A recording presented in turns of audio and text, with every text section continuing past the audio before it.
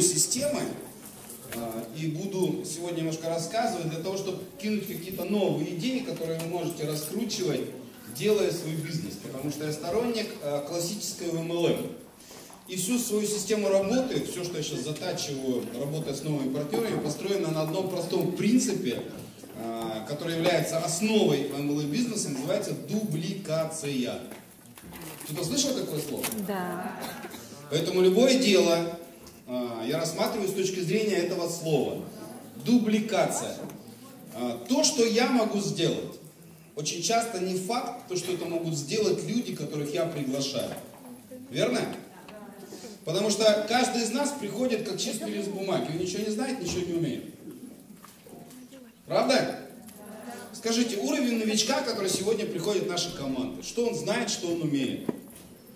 Сколько человеку нужно э, работать, чтобы раскрутить свою страничку в Инстаграме, создать личный бренд, чтобы к нему сами стали заходить люди? А новичку что надо? Ему нужны реальное подтверждение того, что у него получается прямо сейчас. Да? А, Ему нужны реальные деньги через 2-3 каталога, реально, чтобы он их увидел. Только в этом случае, когда он останется и будет работать вместе с нами. Поэтому, когда каждый из нас что-то делает, а, было бы очень здорово, если бы каждый из нас задавал, насколько то, что я делаю, дублицируемо.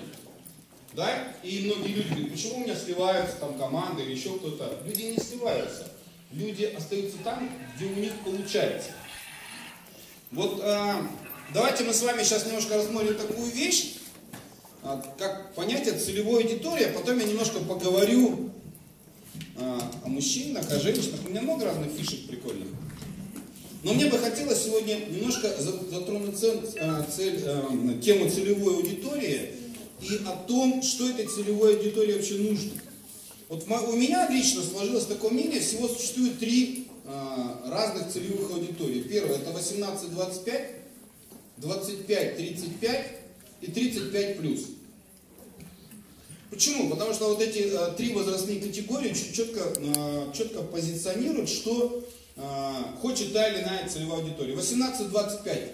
А Что это за люди? Здесь есть такие? Поднимите руки. 18-25. Есть. А, что эти люди делают в своем возрасте? Они гуляют, но я, я вам скажу так, эта целевая аудитория ищет, ищет себя.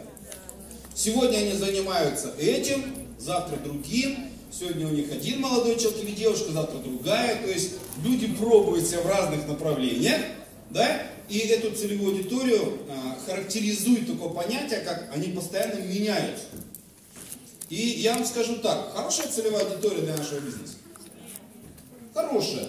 Потому что 20% людей э, среди этих молодых ребят, девчонок, мальчишек, и подтверждение того, что сейчас здесь подняли руки, э, и здесь находятся люди этой целевой аудитории, это люди, которые настроены уже серьезно на свою деятельность. Но 80% они сегодня в Oriflame, завтра они где-то в другой компании, послезавтра они опять пришли в Oriflame, я опять хочу с тобой, да? послезавтра у них любовь, депрессия, а после потом тусовка, потом экзамены, и вот эта тусня такая идет постоянная. И, конечно же, рассчитывать 100% на эту целевую аудиторию достаточно сложно, если ты а, строишь а, такой серьезный доходный бизнес, правда? Верно? А, 25-35 лет. Чем вы будете характеризовать эту целевую аудиторию? Работе. Мамы в декрете. Это люди, которым, у которых есть ответственность. Представляете, вот, например, э, молодой парень закончил институт, женился, а у него, например, первый ребенок, да, первый ребенок, и он понимает, что денег реально нет. А он как молодой специалист никому нафиг очень не нужен. Кто-то уже заканчивал институт, кто-то поступал на работу. Вы столкнулись с такое понятие дискриминация молодежи? Да? А хочется жить, да? Хочется и тачку нормальную купить, Мерседес Ешку, да? Хочется и квартирку, а ипотека душит по всем каналам. И смотрите, вот эти люди, они кричат на кругом, на каждом углу, дайте мне точку опоры, я мир переверну.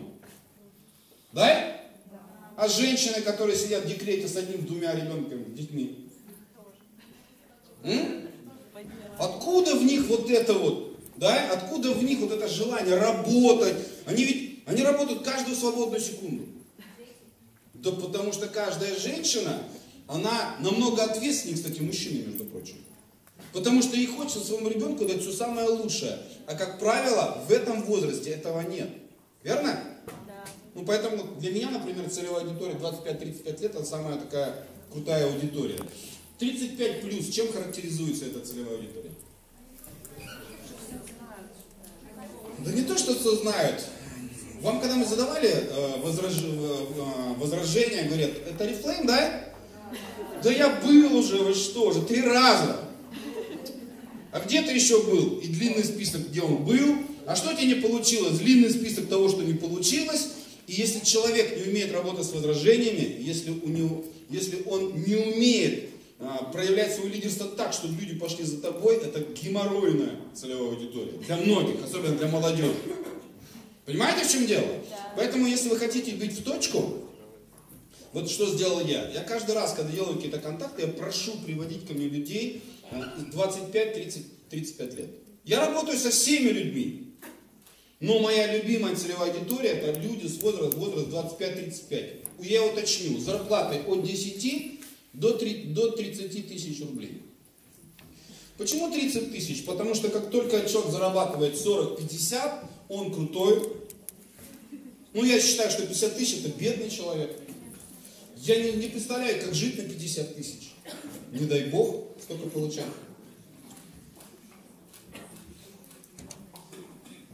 Но человек, если, например, это молодой парень, и он зарабатывает полтинник, он будет горд собой, потому что по отношению к другим ребятам, у него реально есть хорошее пиво покупать, он реально покупает какую-то брендовую одежду периодически, у него есть возможность ходить в ресторан, правда же? Поэтому такие люди, как правило, не ищут пути. Запомните, для того, чтобы делать бизнес, нужно быть голодным. Об этом еще Стив Джобс говорил, правда? Чтобы делать бизнес, нужно быть голодным. Поэтому люди, которые зарабатывают 10-30 тысяч, я не беру московский регион, я вам скажу, в Краснодарском крае много людей, кто зарабатывает по 10-15 тысяч. Чуть-чуть от Москвы отъезжаешь буквально на 20 километров, и ты сразу попадаешь в целевую аудиторию в точку. Хотя, думаю, в Москве, ну, в Москве, наверное, вряд ли, наверное, а вот э, уже под Москвой там уже такие люди есть. Очень много инвалидов, очень много молодых ребят, которые зарабатывают мало. И вопрос, э, о чем говорить с этими людьми? Я вот сегодня хотел немножко другую тему дать. И вдруг неожиданно понял, что если мы с вами поговорим о том, что нам нужно давать людям, нам с вами будет легче работать, правда? Вот смотрите, мы с вами, как правило, говорим про деньги, да? Скажите, деньги а, это единственная вещь, которая интересует людей? Вот сейчас здесь выступали спикеры, и одна, а, ну вот я их я слушал в течение уже, да, вчера, сегодня. И люди о деньгах говорят в последнюю очередь.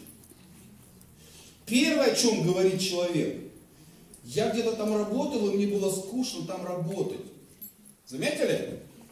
Деньги потом приходят. Так вот, а, если разобраться по ценностям, что люди в первую очередь хотят, а, для, для людей, вот этой целевой аудитории, а мне кажется, для других тоже, в первую очередь, это семья, дети. М? Да. Семья плюс дети. Второе что? Что важно для этих людей? О чем нужно говорить? Здоровье, да? Здоровье. Третье, что идет третий пункт?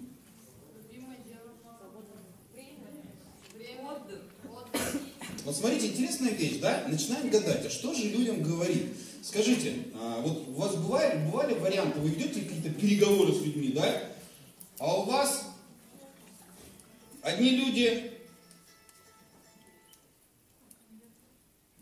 одни люди регистрируются, другие не регистрируются.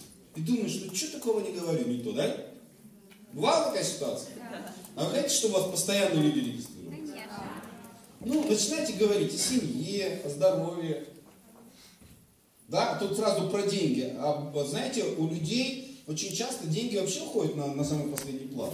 Очень часто уходят на, на самый последний план. Следующая вещь, которая интересует людей, это безопасность. Что такое безопасность? Это, например, вот человек э, получает 30 тысяч, а у него кредит на 25. И у него реально не хватает денег на жизнь, у него реально не хватает детям еду покупать. Вы встречали такие ситуации у молодых ребят, которым реально не хватает денег? Поэтому пока человек не решит свой личный какой-то вопрос, да, он никогда не будет думать ни о каком бизнесе, ни о чем. Дальше что идет? Семья, дети, здоровье, безопасность. Потом идет общение. Вот я недавно подписал одного парня, он инвалид. А, мой земляк Сахалина а, был председателем общества инвалидов, был депутатом, и потом попал в аварию, с позвоночником у него проблемы. Реально, вот у него денег нет, потом выяснилось. Но он мне все уши прожал про то, как ему скучно жить. Вот я ему звоню, он говорит, слава Богу, ты позвонил. И начинает, для него вот это важно. Хотя денег, вот так вот деньги нужны. И он в этот бизнес пришел только потому, что ему хочется общаться. Потому что, а, когда вы начинаете общаться, вы когда проводите офлайн тусовки вот это привлекает очень часто людей, которым хочется как-то улучшить свою жизнь. Правда же? Потому что прежде всего думаешь о душе, а потом уже о материальном. Никогда вам говорили такие вещи? И только потом, пятым пунктом, идут деньги. Только потом идут деньги. Вы знаете, ребят, вот в 90-х годах, когда вот время, когда я делал Oriflame, да, а, тогда а, у людей вообще не было альтернативы где-то зарабатывать, вообще не было альтернативы. А, профессора, доктора наук, э, очень много интеллигентных людей пошли на рынок. Знаете почему? Потому что а негде было. Хотелось нормально жить, а денег заработать было негде. И тогда мы предлагали что? Бизнес. Сейчас, вот 2017 год, никому нафиг бизнес не нужен. Это мы с вами уже понимаем, что бизнес это круто. А люди там на улицах, они не думают о своем собственном бизнесе. Потому что это рискованно, это непонятно. Сегодня есть альтернатива найти работу и там зарабатывать деньги. Потому что все знают, в Газпроме есть деньги, там есть деньги, там есть деньги. Правда? И вот если разбираться с точки зрения целевой аудитории и разбираться с точки зрения возраста и зарплаты, сейчас люди с удовольствием идут на предложение дополнительного дохода. Ну вот представьте себе, вы зарабатываете 25 тысяч, и вам предлагают увеличить доход в два раза. При этом ты решаешь проблемы с кредитами, у нас есть продукты здоровья, мы работаем вместе, да? у нас масса общения, да еще деньги платят. Предложение в точку бьет, как вы думаете? А? И вот смотрите, когда я стал думать, а как же мне Алексею Колтону, э, мастеру офлайн, да, и многие выросли на моих видео, как мне найти себя в интернете, как мне работать и быть успешным в этом бизнесе, я стал исходить из вот этих параметров. И как только я стал свою систему затачивать под целевую аудиторию и по ценности людей, у меня сейчас дошла конверсия людей, с которыми я работаю, до 70%. То есть из 10 контактов у меня 7 регистрируются.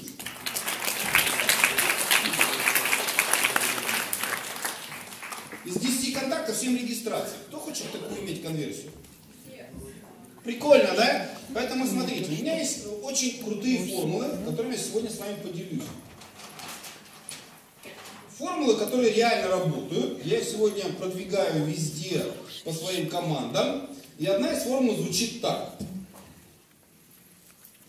Первое, пункт «я», дальше идет дисциплина, дальше идет воля, Дальше идет система и дальше идет результат. Слышали когда-нибудь такую формулу? Это мое личное изобретение, это весь мой опыт работы. Я 20 лет уже работаю э, в Oriflame, и опыт сетевого бизнеса у меня еще вообще 23 года, у меня еще был опыт другой компании в самом начале. Я пробовал, искал, нашел свою компанию. И все начинается в этом бизнесе со слова «я» со слова «я». Еще есть одна формула, которая, это не моя, это я прочитал в книгах по психологии, но ее нужно знать. Звучит она так. Мировоззрение, мировоззрение приводит к мыслям, мысли приводят к действиям, действия приводят к результату. И сейчас я попробую, давайте попробуем разобраться, как нам с вами э, использовать вот эти две вещи, это очень крутые вещи, если вы это поймете, ваш бизнес намного будет эффективнее намного эффективнее. Ну, все начинается с тебя, да? Я уже сказал. Я буду потихонечку рассказывать. Что такое мировоззрение? Кто знает? слышали такое слово подсознание? Да. Это весь ваш опыт, который вы заработали в течение всей своей жизни. А, у некоторых людей есть мировоззрение, чтобы все богатые козлы. Серьезно, у меня Ольга проводила тренинг, и м, одна женщина к ней пришла, психолог, и она говорит, Оль, я хочу зарабатывать деньги, а, я классный психолог, у меня есть классные тренинги, но ко мне никто не ходит на эти тренинги. И она к ней пришла на тренинг по деньгам. Ольга у меня проводит тренинги не с точки зрения там, куда инвестировать, да, как деньги приумножить. Она проводит тренинги с точки зрения бизнес-психологии. И она говорит, давай проведем такое, а, а, такое упражнение. И говорит, в течение сейчас 15 секунд напиши, что для тебя богатые люди. И она пишет, все богатые козлы. Подсознание выдало. И она говорит, а, смотри, ты не хочешь быть козлом, поэтому у тебя денег не будет, пока ты не поменяешь установку. И вот это все, ребята, это все мировоззрение, вот здесь. Помните, мы, что мы, я говорил, мы приходим как с чистого листа, да? А, В 98 году, когда мне сказали, что нужно развивать себя, то есть нужно делать личность, развивать, заниматься личностным ростом, а, ко мне, мне попалась книжечка «Думай богатей» Наполеона Хилла. Кто-то читал? Да. Я эту книжечку прочитал, а там история про успешных людей и э, принципы, на которых эти люди стали богатыми. То есть черты характера, которые помогали людям быть успешными. Я был в шоке от того, что я прочитал. Из всех качеств предпринимательства я нашел в себе всего одно. Я был порядочным. И вот с такими мозгами я решил делать бизнес. Я тогда понял одну очень важную вещь. Если я хочу зарабатывать деньги, я должен вкладывать в первую очередь в себя. В первую очередь в себя. Поэтому хочу всем выразить, выразить, большой респект тому, что вы а, потратили свои деньги очень правильно, приехав сюда на молодежный актив. Похлопайте. Потому что, когда я начал тратить деньги на книги, когда я тратил- начал тратить деньги на семинары, мне было очень жалко тратить эти деньги. Потому что вот сейчас у вас такой возраст, вам очень эти деньги нужны. Ну реально нужны. Хочется новую одежду купить, да? Хочется куда-то сходить, правильно же? Вы взяли, вытащили из, из, э, своей зарплаты деньги и потратили их на молодежный актив. И вы сделали правильно, потому что вот эти новые знания, новые мозги, еще раз, определенными мыслями, с определенными установками. И когда человек начинает работать, да, а у человека такая ситуация идет, смотрите. Когда человек, человек идет к своей мечте, вот эта цель человека, у него начинают возникать проблемы. И проблем этих много иногда. Поэтому смотрите, есть всего две позиции по отношению к своим проблемам. Либо вы рисуете себя таким маленьким и говорите, о, я не умею делать 150 баллов. Это пипец как тяжело. Да? Встречаетесь с такими вещами? Я говорю, а ты- это- это- это- и вот это останавливает тебя от того, чтобы быть богатым, счастливым, да? Чтобы дети тобой гордились. Вот это одна простая проблема останавливает тебя, чтобы в твоей жизни было все так, как ты хочешь. Он говорит, да. Это позиция жертвы, запишите. Это жертва. Этот человек, его проблемы выше, чем он. Замечали такую вещь? А, Встречали таких людей? 98 год. Ко мне приезжает Бронислав Крапкин и говорит, Леш, для того, чтобы делать бизнес, нужно делать 200 баллов, нужно э, приглашать людей. А а у меня долг 4000 долларов по тем временам. Это а, стоимость двухкомнатной квартиры в городе Орске. Я простой учитель, у меня зарплата 100 долларов. Проблема? Я просто стал заниматься челночеством, поехал в Москву в Лужники, у меня вытащили деньги, чужие. Когда люди приходят к нам и начинают жаловаться, как им тяжело, как у них не получается, Ольга потом слушает, потом останавливает, говорит, ты еще горе не видел. Потому что мы очень часто начинаем смаковать свои проблемы до такой степени, что забываем о том, что вот эти жалобы ни к чему не приводят. Верно? Жалобы ни к чему не приводят, потому что а, в этом бизнесе бесполезно жаловаться, бесполезно быть жертвой. Это не та дорога, которая приведет вас к успеху. Если вы делаете из 150 баллов проблему, делаете проблему из того, чтобы написать список знакомых, там кого-то приглашать, ну, ребят, ну посмотрите на себя немножко с другой стороны. И подумайте, а на самом деле вы хотите быть успешным? 98 год. А, я привез 40 каталогов, а, потому что у меня вытащили деньги. Я пришел к Брониславу, он мне, мне целые сутки рассказывал о том, как круто работать в Oriflame, а мне Oriflame был не нужен. Я не искал Oriflame, я не собирался в нем работать вообще.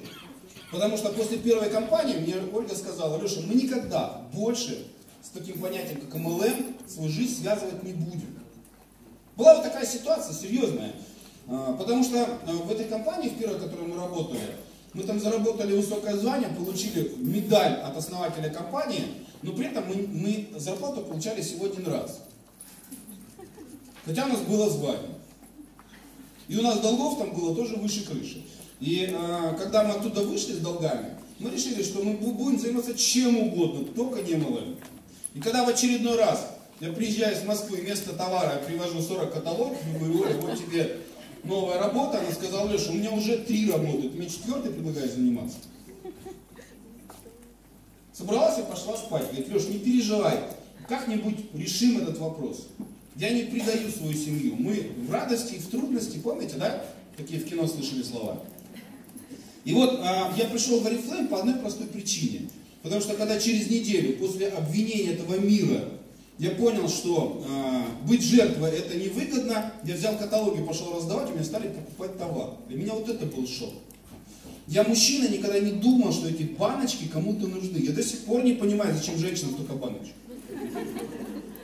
Я один раз ехал в поезде э, в Москву. Э, рядом со мной сел координатор Эван, и у нее такой огромный чемодан косметики. И она такая, открыла, и начинает там рыться. Там, представляете, чемодан. Там такие глаза у меня. Я так говорю, женщина, это все ваше? Она говорит, да. Я говорю, и вы все это любите? Она говорит, да. Что вам больше всего нравится?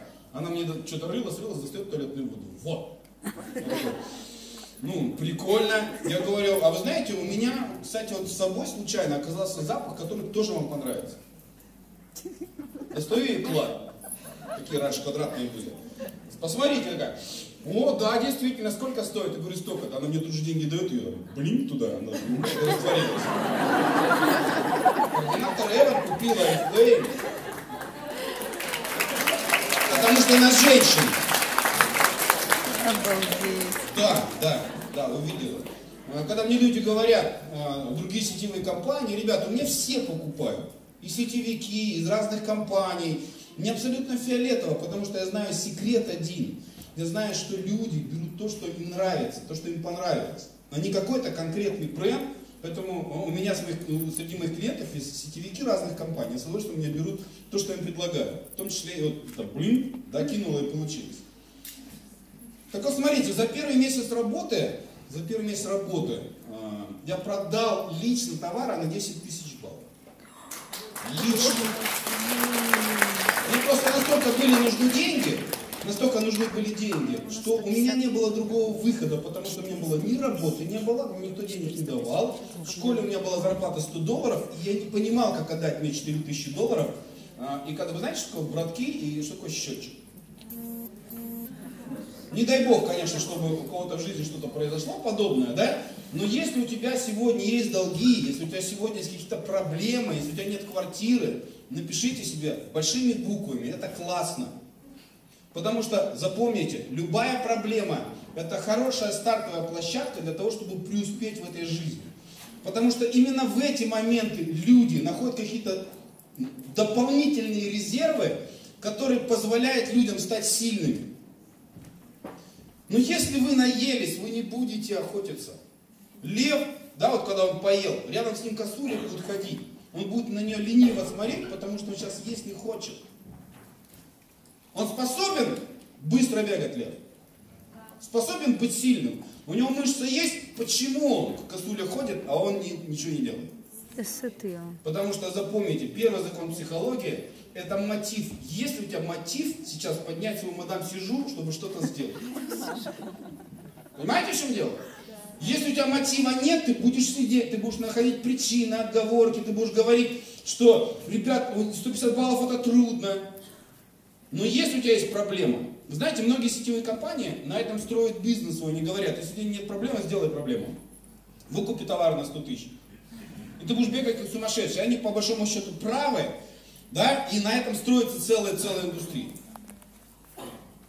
Ребята, ищите себе, ищите себе драйверы, которые будут заставлять вас двигать. Вот если взять, например, статус директора, это похоже на бассейн, да? В бассейне, для того, чтобы наполнить, здесь должен быть насос. Здесь есть винтик. А еще такое понятие насос. И здесь есть дырочка в бассейне, через которую вода вытекает. Что нужно сделать, чтобы ваш бассейн наполнился? Чтобы вы сделали там 22% золотого директора, там, сапфирового, бриллиантового. Что нужно сделать? Скажите. Нужно открутить винтик и включить насос. И нужно сделать так, чтобы сюда был поток больше, чем отсюда. У некоторых бассейн без дна.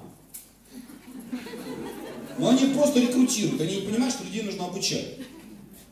Они говорят, а что, говорит, я 100 пригласил, 100 ушло, 100 пригласил, 100 ушло. Ну, возьмите там, придумайте какую-то систему небольшую.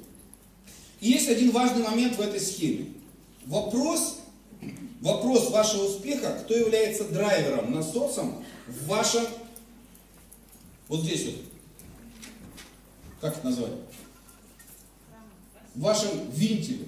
Кто у вас является источником энергии? Вы являетесь источником энергии, либо источник энергии это спонсор, да, это какая-то акция. Скажите, когда этот бассейн будет, когда этот насос будет работать всегда? Когда вы найдете смысл, смысл вечно крутиться по 12 часов, потому что запомните, для того, чтобы э, сделать прорыв, нужно минимум 2 года чтобы сделать серьезный результат. И вопрос, если, вы, если не вы будете драйвером, у вас всегда будут какие-то причины, почему вы не растете. Всегда будут. Драйвером может являться причина у кого-то с мужем проблема. Правильно? У кого-то может быть долги, у кого-то амбиции. Поэтому определитесь, что для вас важно, ради чего вы будете работать. Потому что все в этом бизнесе начинается с себя. Вот если ты понимаешь, чего ты хочешь, если ты понимаешь, зачем ты сейчас будешь себя напрягаться, потому что, смотрите, есть другая, другой вариант, когда так, у человека есть такие же проблемы, есть такая же мечта, так он рисует себя вот таким большим. И он говорит, я хочу сюда попасть. И он говорит, 100, 150 баллов, а что для этого нужно сделать? Я знаю тысячу вариантов, как делать 150 баллов. Я даже некоторым тут уже рассказывал. Я знаю Тысячу вариантов, как сделать 500 баллов. У меня есть девочка в Самаре, которая до сих пор делает по 6 тысяч баллов каждый каталог. У меня есть э, на Сахалине, в Корсакове группа, где всего 10 человек, они делают 10 тысяч баллов, каждый по 1000 баллов. Я когда к ним приехал, говорю, девочки, похлопайте, это класс. Я когда к ним приехал, я говорю, девочки, давайте будем рекрутировать, давайте я вас научу системам. Они говорят, Леш, ну, не порти нам настроение от того, что ты приехал. Я захожу, у них там чай, торт там, да, ну и после торта потом еще более серьезные напитки пошли, да? И они говорят, просто давай побудь с нами и езжай отсюда. Езжай просто. Почему? Потому что это их выбор. Понимаете, в чем дело? Это они так решили делать этот бизнес, потому что, Леша, у нас мужья моряки, они привозят хорошие деньги, там, капитаны, да, и так далее. И говорит, мы сюда собираемся не ради денег. Мы сюда собираемся, потому что нам нравится наше общение. Представляете, вот, да, какие разные бывают стратегии достижения результата. Да? Абсолютно разный подход. И я тогда подумал, Колтон, блин, ну не каждому нужно то, что ты делаешь. А, смотрите, на второй месяц работы я сделал 10 тысяч баллов, баллов, но уже групповым способом. Потому что я решил уйти с этого бизнеса после того, как сделал успех 10 тысяч баллов на личных продажах. А, вы хоть представляете, сколько каталогов нужно иметь в обороте, чтобы сделать 10 тысяч баллов? Ну, некоторые уже да. Вы хоть представляете, какое количество нужно поездов встретить с Москвы? Когда с Москвы возили товар. Какое количество налички передать, когда не было как? И какой риск это передавать проводниками? Вы хоть представляете, какое количество товара нужно разнести? Какое количество ботинок нужно стереть? Да?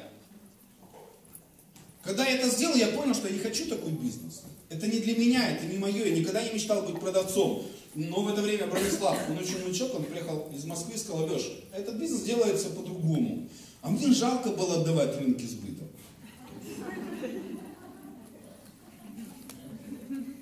Реально было жалко. Что я сделал? Я тогда придумал свою первую в мире, первую в жизни свою стратегию, как мне сделать 10 тысяч баллов групповым способом. Я просто взял 5 человек, 5 человек, и сказал, ребята, оставлю перед вами цель сделать по 2000 баллов, потому что 10 тысяч баллов это тяжело, а 2000 баллов, я думаю, это на раз-два. Когда ты делаешь 10 тысяч баллов, 2000 баллов вообще не работает. Ну все в жизни условно.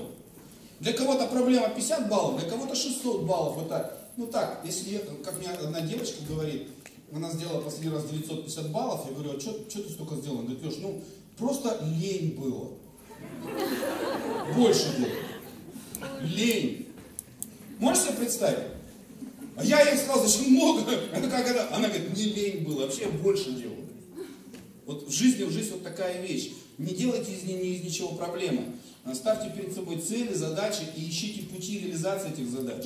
И ставьте себе планку выше, чем вы можете сделать. Потому что если вы можете делать много, тогда вам мало будет делать очень легко. Когда мне сейчас люди говорят, сколько ты делаешь, я говорю, делаю, в среднем делаю 250-300 баллов, и надо 350, и это не только мои личные заказы, у меня еще есть клиенты, которых я обслуживаю. Почему? Потому что мне навык продавца нужно постоянно держать в тонусе. Знаете зачем? Ведь вы понимаете, я могу больше ничего в этой жизни никогда не продавать. Для меня купить 500 баллов, это вот так вот на раз-два, я даже не почувствую эти деньги. У меня, я на бензин трачу больше. У меня Land Cruiser 200, да, он у меня съедает в городе 17-18 литров.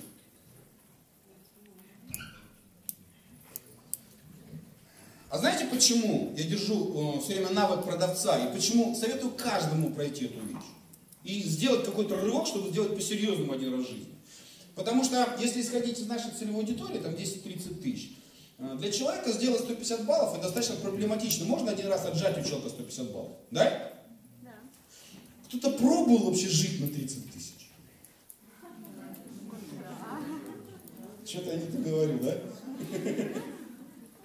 Смотрите, когда человек живет на 10, 15, 20, 30 тысяч, у него этих денег реально не хватает. Я клянусь, что не хватает. И взять оттуда 6 тысяч, вы не представляете, какая это проблема. Я ведь, смотрите, а, то, что я стал богатым человеком, это не значит, что я забыл о том, кем я был. Я всегда помню, каким я сюда пришел, я всегда помню, помню, а, как трудно мне было начинать работу. Я свой первый каталог отдавал так. А, вот самый первый, мне же никто этому не учил. Я наметил себе жертву решил к ней пойти. Ну я же сильный, да, я же мужчина. Я к ней иду. Через два часа, идти 10 минут, через два часа я понимаю, что шел в другую часть города. Вот такие страхи в каждом из нас, когда мы начинаем делать что-то новое. Это не говорит о том, что это невозможно, это просто мы сами себе выдвигаем баррикады на пути к своему успеху. Мы сами себе придумываем существующие страхи, да, которых на самом деле нет. Да? Знаете, когда я первый каталог отдал? Я смог дойти до нее только вечером. Я так вот забежал к ней весь красный, мокрый, у меня язык уже не, не шевелился, он распух у меня во рту. Я бросил каталог и. Она Леша, да хоть поздороваемся, я говорить не могу. Я волнуюсь, язык во рту не вмещается. Я, что, что-то, она зуб, что-то мне принес. Раз, а, слушай, я как раз хотела себе что-то купить. И начинает мне писать какие-то баночки. У него такие глаза из орбит. Да? И я понимаю в этот момент, что, блин, Че волновался вообще? Какие? Один раз был случай из моей практики. Э, я взял, ну, когда уже умел это делать, ну, представляете, после 10 тысяч баллов я любого новичка могу научить делать 50 баллов в течение дня. Любого, любого из вас могу научить. Взял новичка, взял его за руку, веду, сейчас покажу класс. Захожу, маленький киоск, аптека, раньше такие были. Э, стучусь в это окошечко, я говорю, здравствуйте, меня зовут Алексей, вот там каталог и оттуда такая фраза, такая гадость. Мой новичок, джим, я вам опять джим сюда. Я говорю, стоять. Я говорю, а что случилось? Туда, в эту дырочку, даже не вижу, кто там. Да, говорит, взяла вашу помаду дерьмовую, начала себе румяна наводить, у меня аллергия выскочила. Помните, Берия говорил, у каждой причины, у каждой ошибки есть имя. Помните, да? У каждой проблемы есть причина. Ну что париться, ребят? Смотрите, вот я верю в продукт, которым работаю, верю в него. Знаете, а, один раз я слышал историю, не слышал, а прочитал историю про Стива Джобса, а, когда, а, ну, слышали про него, что его выгнали из компании, которую он создал. Да. Ну, он начал вести такую политику, что совету директоров не понравилось. Потому что на определенном уровне компания акционируется, и богатые люди вкладывают туда деньги. Ну, так работает и Арифлейм, кстати, такая же компания. Сейчас Арифлейм не принадлежит братьям Роберту Йонас Йокнику, он принадлежит инвесторам этой компании. Хотя братья Йокники являются э, директорами совета директоров. Ну, как, называется, да? Я не очень силен в экономике и э, в инвестировании. И э, Стива Джобса выгнали из компании, которую он создал. А драйвер компании ушел. Что значит быть драйвером? И компания Apple начала, грубо говоря, разваливаться. И вот эти ребята, которые внесли туда деньги, они не могли понять, что происходит. Стив Джобс был, все росло. Ну, как сейчас с Дуровым, да? Все думали, сейчас контакт будет по жизни крутой. Дуров ушел и так это. А Телеграм, заметили, да? И они решили э, попросить Стива Джобса вернуться. И говорят, э, Стив Джобс вернулся. Нет, Стив Джобс поглотил свою же компанию, сам. И когда он пришел, когда он пришел и провел свой первый, э, первый совет директоров, то есть э, директора подразделений, он сказал, ребят, достаньте свои айфоны. А? Ну, да расскажу. Достаньте, не, не, не айфон, а достаньте свои телефоны. Все достали телефоны. Специалисты высшего класса. Крутые менеджеры, программисты, айтишники, там, я не знаю, кто у него были, да? И он сказал, все, у кого не iPhone, вы уволены. Потому что вы не можете делать лучший в мире телефон, если вы в него не верите. Вы не можете знать что-то особенное, если вы этим не пользуетесь. Он сказал еще одну вещь. Если бы э, основатели компании Жилет, знаете, какая пена есть? Сами пользовались продукцией, вот эта проблема, вот эта каемочка внизу жилета, она все время ржавеет до сих пор. Ее берешь, след остается ржавый на, на ванне. Сама пена хорошая, вот эта упаковка дерьмовая. Была бы устранена в первый же месяц работы. И когда вчера Магнусу спросили, Магнус, а вы пользуетесь продукцией? Помните? Вы что думаете, это природа, да? Я такой красивый. Я перевожу вчерашний, не мой фильм, да? Потому что, ребят, если вы не принимаете продукт, если вы не понимаете его ценность, если вы не, не можете с ним работать, у вас ничего не получится в этом бизнесе. Вам завтра скажут, что в другой компании есть суперпродукт, и вы уйдете туда. Понимаете, в чем дело? Вы уйдете из лучшей компании, с лучшим маркетингом, с лучшим руководством, с лучшими ценностями. А, а ведь ценности компании определяют, сколько ты в этой компании будешь работать. Я знаю ребят, которые бегают из компании в компанию уже много лет. Я с ними когда-то начинал, с ними когда-то в академии учился, они поменяли 83 компании, сейчас пришли в новую компанию. Они до сих пор ходят без штанов. И когда я их встречаю, да, я выхожу из своей машины, да, я ну, выхожу из двухкомнатной квартиры, по большому счету 4,5 миллиона, это двушка в Краснодаре, даже трешка. Я выхожу из своей трешки, он с голой жопой, и он мне говорит, Алексей, я понял, где я буду работать. Прошло 20 лет. Я себе покупку решил э, себе поменять машину. Я теперь решил ездить на, на, ну, на, на четырехкомнатной. Я очень долго думал, какую машину следующую себе возьму. Я хотел себе взять, брать Lexus 570. Он стоит где-то 6,5 миллионов. А, и недавно, сделав тест-драйв, я понял, что надо переходить в luxury, нужно брать что-то более такое серьезное. Решил брать себе Porsche Cayenne дизель турбо, положено нормальному пацану. Ребят, э, я хочу сказать, что нам повезло, что мы оказались здесь, вот здесь, вот именно здесь. Потому что есть масса ребят, да, а, ну, у меня опыт в сетевой индустрии 23 года. И я знаю, не, ну, я знаю не очень много людей, других компаний, которые отработали 20 лет. Мало того, я 20 лет получаю деньги от той работы, которую я сделал когда-то. Вот я расскажу свою историю. Моя первая поездка во Францию, первая поездка за границу. 98 год, май 98 года мы присоединяемся к компании Reflame.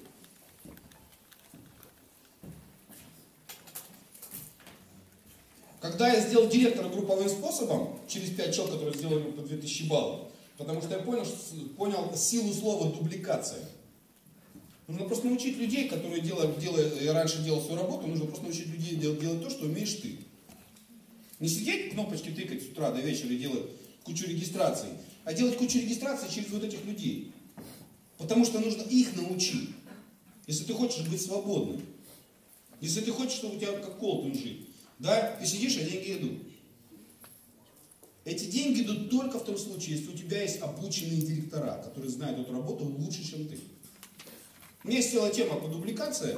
Ну, просто это, эта тема, э, я в свое время почитал ее Рэнди Гейджа. Так вот, смотрите, в 98 году, в мае, я узнаю, что будет поездка во Францию. А я никогда не был за границей. Ну я же уже директор, да? И я звоню Брониславу, говорю, Броня, а мне можно поехать? Говорит, нет, Леш, у тебя не получится. У тебя не получится, потому что до квалификации осталось немножко времени. Нужно набрать количество групп, там 20 сколько, не помню. Я прихожу домой, говорю, Оля, вот такая ситуация, Франция, мы как-то пролетаем, а так хочется. Она говорит, Леш, ну ты мужчина, а, что должна делать женщина? Почему женщина является источником энергии мужчины? Слышали такую фразу? Не все ее понимают. Когда я поделился своими переживаниями по поводу этого, что мы не поедем, она говорит, Леш, ну ты мужчина у меня, ты же умный, ты что-нибудь придумаешь, попробуй. Она не стала меня как Броня отговаривать. Потому что Броня мужчина. Он понимает прекрасно объем работ, который нужно сделать для того, чтобы открыть квалификацию золотого и набрать количество, нужное количество групп. А Ольга, она просто любит своего мужчину и верит в него. Как говорят, как тебе повезло? Не повезло. Каждая женщина своего мужчину делает. Если успеет, то тему подниму мужчин женщин. В результате мы открываем звание золотого директора к моменту начала квалификации. И э, мы просчитываем, у нас по группам все срастается. Но выясняется вторая, вторая западня, что кто-то из нас один поедет. А мы все время делаем вдвоем все время. И когда я звоню Броне, говорю, Броня, как вдвоем? Говорит, Леш, ну, молодцы, что сделали. Пускай возьмите там, ну, разыграйте там, договоритесь, кто из вас едет. Мы, я не хочу без Ольги ехать, я хочу с ней ехать. И он говорит, ну, тогда, Леш, на следующий год. Я прихожу к Ольге, она опять говорит, Леш, ну, в чем проблема? Один раз сделал, второй раз сделал. В результате мы э, едем на золотую конференцию во Францию, в город Опио. Вдвоем мы едем в закрытой квалификации сапфирового директора и в открытой квалификации бриллиантового. И таких примеров, друзья, сейчас. Таких примеров много. Шахаевы, Шаймандаровы. Да? Сейчас вы видите, что ничего не поменялось за это время. Ни интернет, да, ни кризис не смогли ничего сделать по отношению к такой сильной вещи, как цель, мечта и цель. Понимаете, в чем дело? Если вы вдруг решите для себя, что вы чего-то в этой жизни хотите, запишите, вы можете это получить, если вы начнете в это верить, это делать, потому что любая цель, когда вы себе что-то ставите, по отношению к этой цели нужно проявлять дисциплину, нужно следовать тому, что ты решил. Не предавать то, то, что для тебя важно. Нужно проявлять волю, когда тебе трудно, потому что жизнь, она будет постоянно выдавать вам какие-то подводные камни, из которых тебе будет трудно вылезти. Но если ты говоришь себе, по-любому, что бы ни произошло, я сделаю то, что решил, да? И вы находите себе силы подняться, как Тамила Полежаева нас всегда учила. Стыдно не упасть, стыдно не подняться. И когда мы начинали ныть, вот там продукция, нехватка продукции, помните времена были? Он сказал, ребята, это не проблема, это рабочий момент. Просто мы все смотрим по-разному на одни и те же вещи, правда? По-разному. Начинайте смотреть так, как смотрят на это успешные люди. Вкладывайте свои мозги, знания. Потому что, смотрите, Если вы будете вкладываться только в действие, изучать, как работает Инстаграм, это круто, когда вы знаете. Вкладываться, как, например, такое дубликация, и будете только что-то делать, а в мозги не будете вкладываться. Тогда вы не будете работать для дисциплины и над волей. Потому что воля проявляется только у людей, которые точно знают, куда и зачем они идут. Мы русские люди, Россия удивительная страна, мы можем делать то, что никто не может на земле делать. Да, поэтому у нас победить физически невозможно.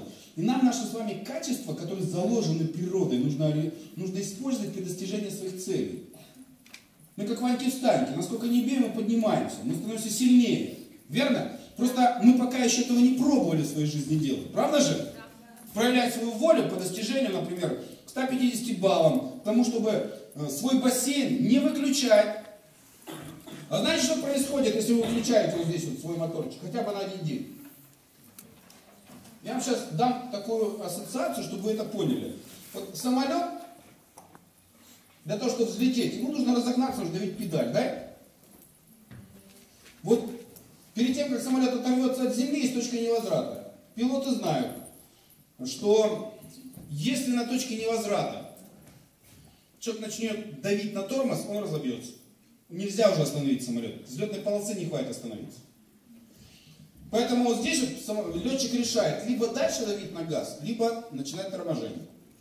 Потом самолет взлетает, представляете, на взлете отключить двигатель. Вот эта система называется программа 90 дней. В чем смысл программы 90 дней? У всех у нас разные системы, у нас разные методы рекрутирования, но принцип 90 дней у всех одинаковый. Сейчас хотел слайды еще показать, да? Забыл. Да, фиг с нам слайдами, да? Ребят, если вы после точки невозврата а, решили устроить Новый год или праздник, или ехать куда-то отдохнуть.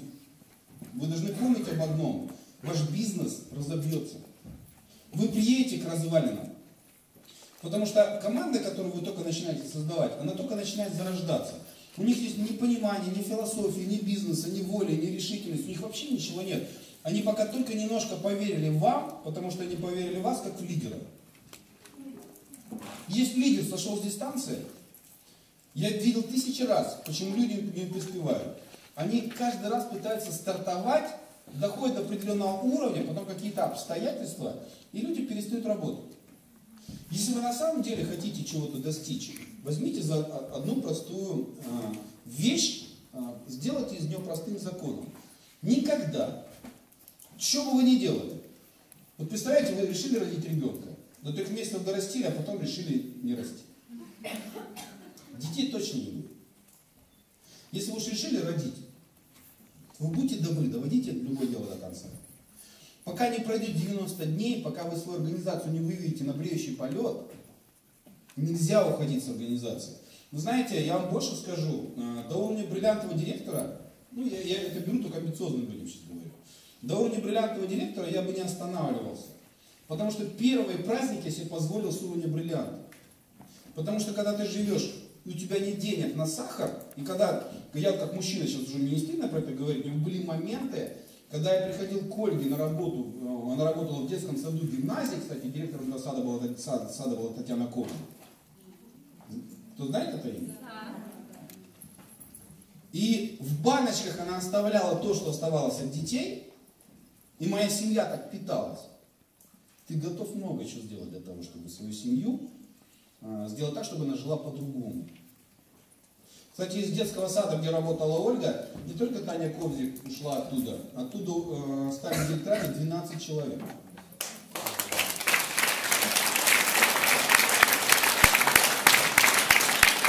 Потому что когда ты стартуешь, ты начинаешь втягивать в себя всех людей, способных к предпринимательству твоего окружения. Всех людей, способных к предпринимательству твоего окружения. А, мне говорят, Алексей, вы работаете со списком знакомых? Я говорю и да, и нет.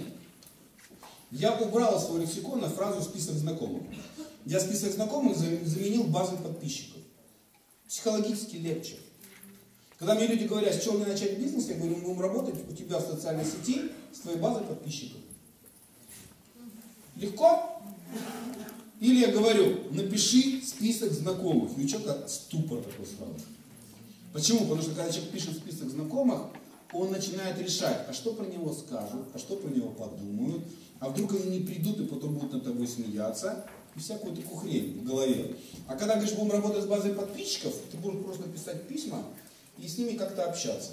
Как-то он привык общаться легче, чем писать списки знакомых. А, правила игры, по большому счету, не изменилось. Психология людей за это время не изменилась. Появились новые инструменты в интернет, которыми надо пользоваться. Поэтому каждый раз, создавая свои системы, думайте о том, смогут ли вас дублицировать люди, с которыми вы работаете. Еще одна вещь. Что ли там по времени? Все, заканчиваем? Пять минут? Нет.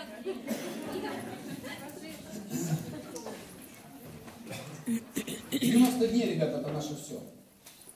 Вся моя организация, а, я вот вчера Сергей Гаглоев заикнулся про это дело. А, я, наверное, имею право сказать, как, а, так как являюсь спонсором этого человека, у меня товарооборот только одного человека в моей структуре, Татьяны Ковзик, 48 миллионов баллов.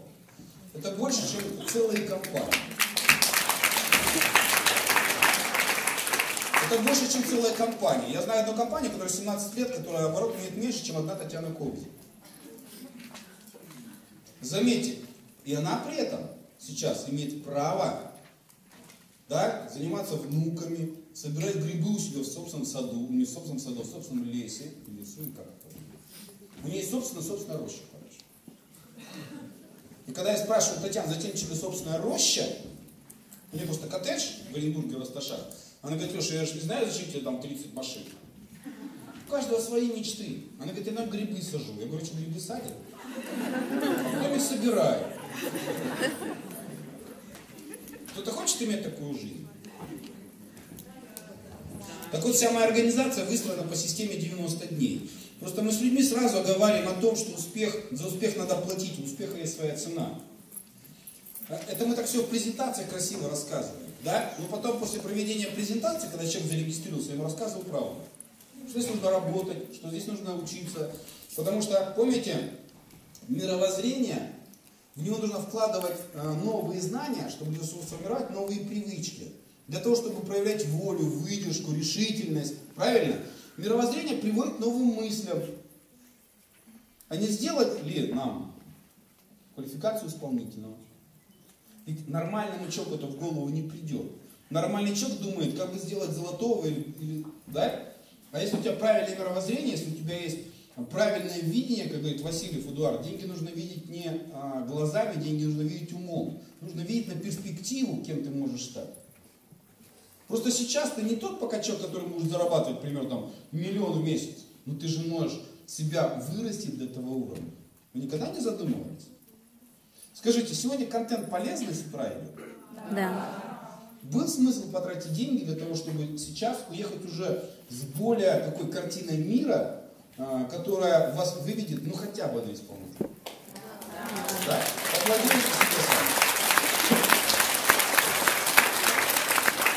Еще одна важная вещь. Смотрите, вся, вся организация выросла на программе 90 дней. Потому что программа 90 дней, она отражает цену, которую должен человек заплатить за свой результат. Не останавливаться, пока ты не заработал. Меня в свое время этому научил отец, но это была тогда не называлась программа 90 дней, это тогда называлось э, выращивание картошки. Программа выращивания картошки, да. Э, у нас было 20 соток, кто-то знает, что это такое? Который нужно было вскопать вручную лопатой, потом посадить. Я знаю, что такое навоз и как он пахнет. Я его не боюсь брать руками. И когда мы копали вот эти 20 соток, нужно было садить, потому что тогда в те времена, это были там 90-е, 90-80-е годы, а, выжить по-другому было невозможно в России. Когда я спрашиваю, говорю, что не было Кока-Колы, никто не верит. Я первый раз фанту попробовал в ЦУМе в Москве. А, и мой отец всегда говорил так. Когда мне хотелось пойти на речку с ребятами порыбачить, мне отец говорил так, настоящий мужчина, прежде чем развлекаться, сперва делает свое дело. Вот выкопай, вот, скопаем огород, посадим картошку, потом пойдешь отдыхать. И вот эту вещь, да, у меня отец обычный человек, водитель, ну, по совместительству э, старший золотой директор компании нет. А, я эту мысль пронес, и потом из этого родилась программа 90 дней. Где-то просто прочитали, я вспомнил, меня этому учил отец, и я понимаю одну вещь. Пока ты не сделал квалификацию, пока ты не научил людей, не останавливайся. Ну, а, сегодня были уже фразы, кто-то там пиво пил, да? Продолжал в каком-то городке. А я работал. Поэтому вы можете отдыхать, но тогда имейте в виду, ваш самолет разобьется. И вам придется начинать все заново. Поэтому уберите временно вот эти все развлекаловки и просто начинайте делать ради того, чтобы потом классно всю жизнь жить. Важная, важная вещь, которую я всегда рассказываю. Смотрите. Каждый раз у нас приходится делать какой-то выбор в жизни, да? Вот это диван, диван. Это ваша мечта. Кстати, по поводу мечты. А, один раз э, путешествуем, я сейчас очень много путешествую, путешествовали по Крыму и э, путешествовали с друзьями. Ребята богатые, у них свои склады оптовые, э, кстати, являются нашими консультантами. Сейчас очень много богатых людей сюда приходят, потому что богатым надоело тупо пахать. Они хотят жить так, как мы живем. И мы путешествовали по Крыму, и мне, ну, наши, наши, наших друзей живут Татьяна Сергей, Татьяна говорит, Леша, а когда ты думаешь про свою мечту, сколько ты этому времени посвящаешь? Я рассказал анекдот. Э, муж с женой разводятся в суде, и жена спрашивает женщину, скажи, а почему, почему вы разводитесь? В чем причина? Он говорит, ну вы знаете, с ним жить невозможно. Он утром меня хочет, вечером хочет, в обед, после обеда, э, после завтрака, после полдника. Увидит, уже хочет. Я не могу-то. Ну вы не верите, я не могу больше. Он говорит, верю. А мужчина спрашивает, мужчина, а вы что по этому поводу скажете? Он говорит, а что я хочу сказать? И сейчас я хочу. Я Татьяне говорю, Татьяна, я сейчас про мечту думаю. Потому что Володя Полежаев нам сказал одну такую важную фразу. Он сказал, «А, планирование – это умение жить в будущем. Если ты не живешь своим будущим, если ты об этом не мечтаешь, я вот сейчас уже езжу на своем Porsche Cayenne. Я уже сейчас живу в своем доме, по-моему, все мозги уже вынес, да, какой будет дом и где это будет место, да? Вот Сергей везде об этом говорил. Я там уже думаю, какой будет забор, какие будут эти вещи. Почему? Нужна энергия.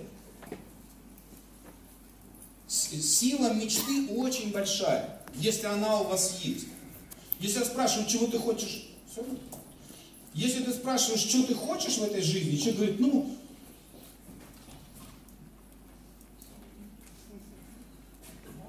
не как еврей. Золотая рыбка, что ты хочешь? Три желания. Говорит, хорошо. Хочу миллион долларов, дачу на Багамах, жену красавицу, э, парк, парк машин. Это первое желание. Да? Евреи точно знают, чего они хотят. Поэтому, если у вас нет мечты, вас будут постоянно раздравить в разные места. Поэтому сила дивана и сила мечты достаточно серьезная вещь. Скажите, что сильнее, диван или мечта? Зависит от человека. Ребята, совершенно равные силы. Я когда захожу домой, мне мой диван говорит, иди ко мне, я тебя люблю, я так, так, тебе соскучился, я тебя сейчас обниму, тебе будет так хорошо со мной. И ты идешь как зомби к этому дивану, и я иногда сижу, например, там работаю в интернете, да, потом диван меня такие манят и зовет, и скажу, туда. Поэтому смотрите, диван, диван всегда вас будет тянуть и очень сильно тянуть. Возможность расслабиться – это заложено природой человека. Все мы хотим быть ленивыми. Все. Я не верю тем, кто хочет всю жизнь работать. Все мы хотим расслабляться, отдыхать, получать наслаждение в этой жизни. Но, если для вас мечта очень важна, тогда перед вами стоит выбор. Насколько часто вы выбираете делать выбор в сторону мечты.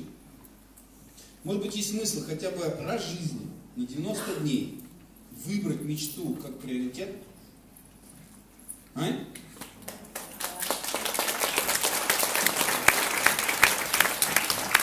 Помните, да, анекдот старый? Пять минут и заканчиваем. Партийной э, идет, идет э, лекция о сексе э, в деревне при социализме. Выходит диктор и говорит, Вы знаете, что есть любовь мужчины к мужчине? Все. Да. Вы знаете, что есть любовь мужчины, жен, мужчины, э, женщины к мужчине, мужчины к мужчине. Все кричат слайды, слайды. А знаете, что есть любовь женщины к женщине? Все, все слайды, слайды. Вы знаете, что есть любовь к партии? Да? Сейчас посмотрим немножко, чуть-чуть приоткрою жизни э, успешных людей, кто состоялся в Oriflame, для того, чтобы вам дать пример, о чем мечтать, о чем думать, чтобы вас вот этот огонь желаний никогда не, не, не покидал. Чтобы сделать программу 90 дней, взяли программу 2 года, название бриллиантового исполнительного директора, и чтобы в этом зале однозначно появился хотя бы один бриллиантовый директор.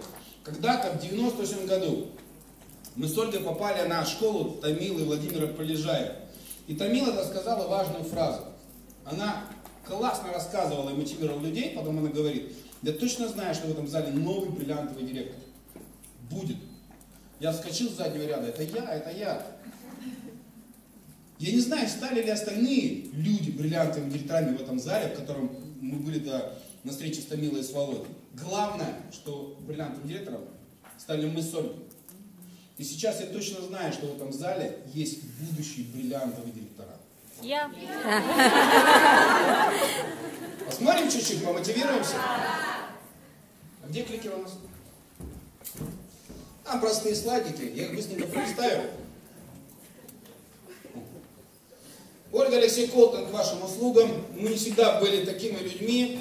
Мы были, это, кстати, моя двухкомнатная квартира про который рассказывал. Мы машину взяли из салона, сейчас на ней пробег 30 тысяч, пора менять. А, мы жили, как все люди. Я ездил на 41-м москвиче, мы одевались на рынке. Мы оба педагоги, у нас не было денег. А, но мы были счастливы, потому что у нас была любовь. И поэтому любовь стала главной движущей силой нашего успеха. А, видите вот этого человека в шортах? это Бронислав Крапкин, это он, тогда его первая поездка, видите, что старый логотип. А помните историю, где Алексей Колту назвали, если такого идиота получается, у меня точно получится. Знаете эту историю? Нет, нет. Э, в 98 году, э, когда Бронислав приехал к нам в город Орск и показал, как проводить презентации, а Бронислав такой креативный мальчик, его все время рассказывает там, про безопасный секс, там, про всякие вещи, ну, прикольно его слушать. И мне нужно было провести первую в жизни презентацию. Первую. Я все выучил, три дня учился, одел свой лучший костюм, и у меня был один. Мы собрали полный, полный э, зал, вот это зал детского творчества «Искра». Мы его битком забили. А, вот те люди, которые, которыми работал, пять человек, они потом с продаж перешли на рекрутирование. И мне нужно было выступить перед этой аудиторией. Я потренировалась, Ольга меня выучила, как, ну, посмотрела, как я читаю. А, когда я вышел на сцену, импровизирую, на все забыл. Я не помню, что я нес. Про какой-то безопасный секс я помню Ольга, которая мне говорила вот так, ползай. Она сидела на заднем ряду, и она слышала то, чего я не слышал. Когда я закончил, была мертвая тишина, а потом все люди подписались, все сто процентов подписались. Знаете, почему они подписались? Они подписались по одной простой причине. Потому что Ольга мне потом спустя годы рассказала только, почему они подписались. Она сидела на заднем ряду, и было стыдно сказать, что моя жена, не дай бог кто-то про нее подумает, потому что ну, это было пипец вообще. И она слушала разговоры женщин, которые сидели в зале. Она говорит, ну что, ты будешь подписываться? Она говорит, ну я да. А ты? Я пока не решил. Он говорит, да ты что, давай тоже подписываться. Он говорит, зачем? Ну если у этого идиота получается.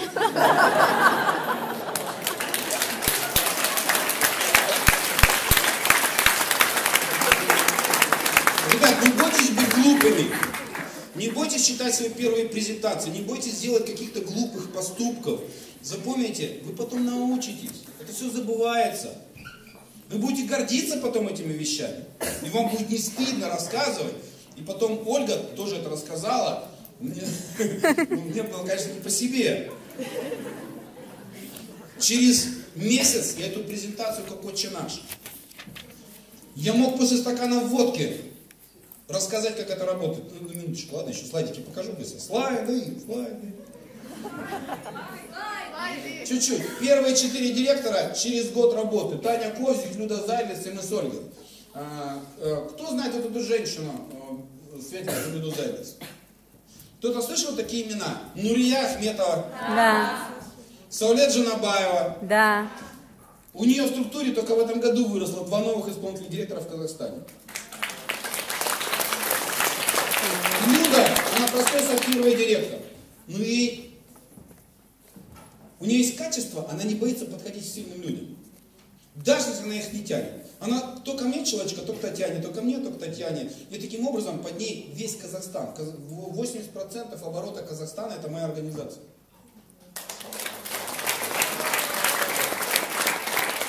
Ну как, деньги есть в этом бизнесе? А, вот это мой папа, который меня научил многим вещам. Когда он заработал здесь, э, когда он поехал на Сахалин, а, мы ему купили пиджак, костюм, дипломат, мы его упаковали по полной программе, потому что человек должен выглядеть.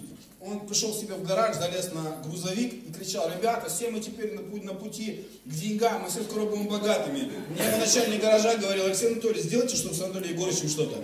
Потому что мне все увольняться собрались, у меня куча заявлений лежит. Он поделился состоянием. Скажите, вы чувствуете мое состояние, которое я сейчас вам передаю? Да. Главное, это то, что вы чувствуете, то, что вы транслируете, а не то, что вы вы вот этим делом говорите. Понятно? Я, кстати, презентацию могу читать вверх ногами. Разворачиваю лист и пишу вот так вот. У меня вся моя организация так может делать. Потому что люди дублицируют то, что делает спонсор. Спонсор вверх ногами пишет, всех пишут вверх ногами. Маленький город Ясный, два бриллиантовых директора, 11 тысяч населения. Есть маленьких городов люди? Ребят, вот вам примеры, да, как быть успешными. А, Сулет Жанабаева, Татьяна Ковзик, а, Нурия Ахметова. Я люблю крутую технику, у меня всегда все самое лучшее, все самое новое. Если появляется что-то из техники, всегда покупаю. Я не смотрю этот телевизор, я его включаю один раз в неделю, посмотреть новое кино. Все. Но у меня, вот это, как это в айфоне новая панель называется? LCD или как там? AMOLED. Тут у меня э, AMOLED телевизор. Это подсветка, встроенная в саму матрицу, говорят опытные люди. А, у меня есть в доме, это одна из моих квартир. У меня сейчас недвижимость в Краснодаре и в Самаре. А, и у меня есть дома дерево счастья. Под этим деревом счастья сидела Тамила Полежаева.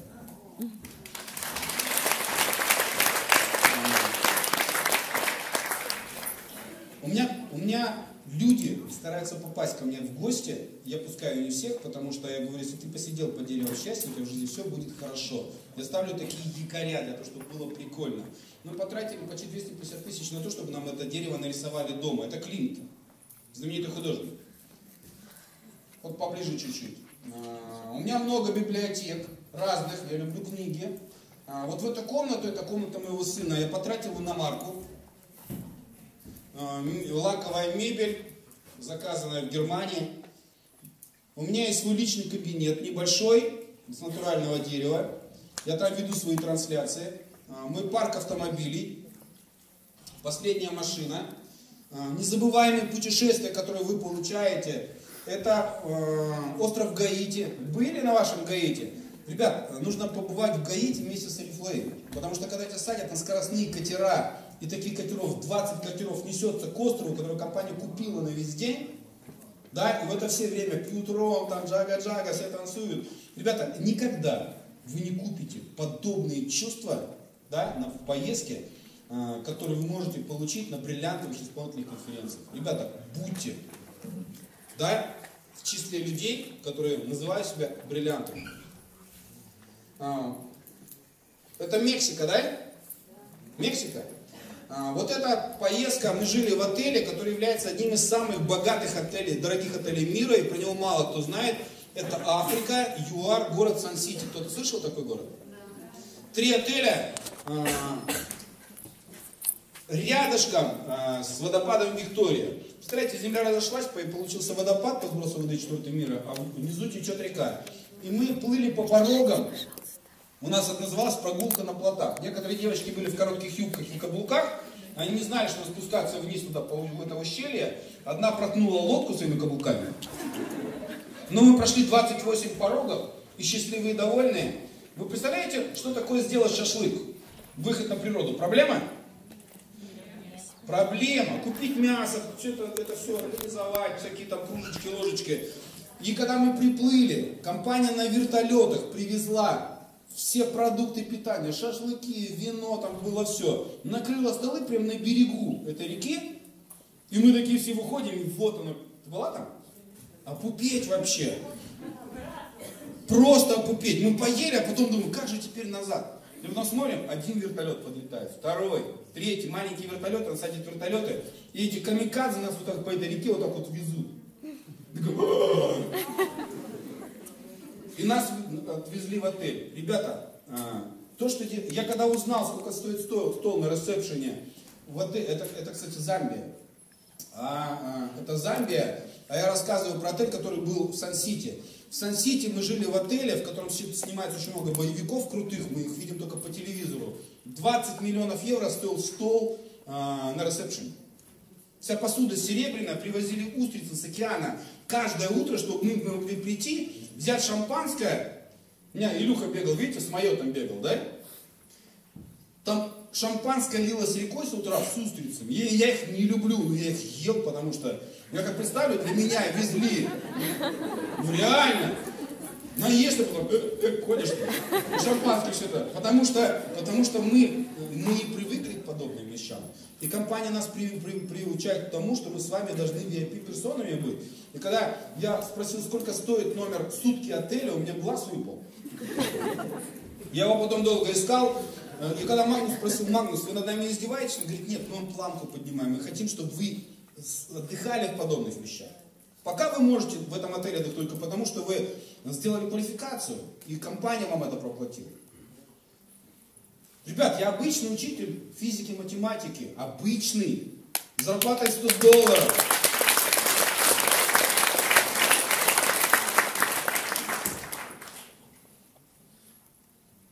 Дай Бог, чтобы ваша семья всегда была счастливой, всегда была богатой, и чтобы вы своим детям всегда говорили, у тебя вся жизнь впереди, у тебя все получится, так же, получилось меня.